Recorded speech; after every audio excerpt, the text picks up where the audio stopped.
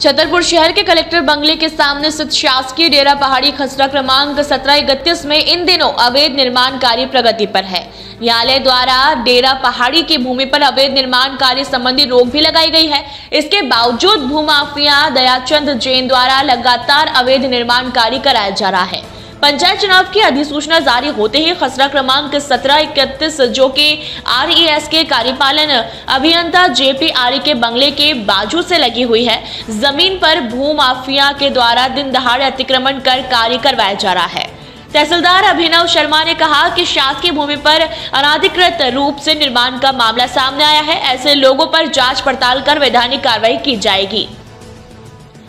Collector Chhatarpur Sandeep जियार ने कहा कि एंटी माफ़ी अभियान जारी रहेगा। शासकीय भूमि पर अतिक्रमण करने वालों पर सख्त से सख्त कार्रवाई की जाएगी। अगर दोषी पाया जाएगा तो अतिक्रमणकारी के खिलाफ प्रकरण भी दर्ज कराया जाएगा। उसमें मीडिया से पता चला था कि यहाँ सत्रह से इक्कीस नदी में द्वारा किया जा रहा है उसकी पटवारी से जाँच करवा ली है उसे क्योंकि मैं पंचायत में व्यस्त हूँ तो कल या परसों में कोई राजस्व अधिकारी जाके उसके खिलाफ कार्रवाई की जाएगी वैधानिक कार्रवाई की जाएगी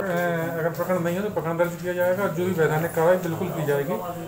हमारे कर्मचारी और आप लोगों के सहयोग से भी जानकारी मिल रही है उसे तुरंत एक्शन लिया जा रहा है जो भी शासकीय भूमि में हम लोग इंश्योर करेंगे कि कोई ऐसा अवैध कब्जा वगैरह नहीं हो, और अगर ऐसा हो तो उसको मुक्त करने की पूरी प्रक्रिया जो है वो अपनाएँगे और इंश्योर करेंगे कि वो मुक्त हो। और मैंने अभी ज्वाइन किया है तो हम जैसे जैसे हम लोग अभी प्रोसेस करते हैं तो ये तो हमारा श्योर है कि माफिया अभियान जो है बहुत ही सीरियसली चलेगी और हम लोग किसी भी ऐसे माफिया जो सरकारी ज़मीन या गरीबों की ज़मीन पे कब्जा करेंगे उनको हम लोग we will not spare and ये हमारे तरफ़ से मैसेज छतरपुर से भरत यादव की ये रिपोर्ट।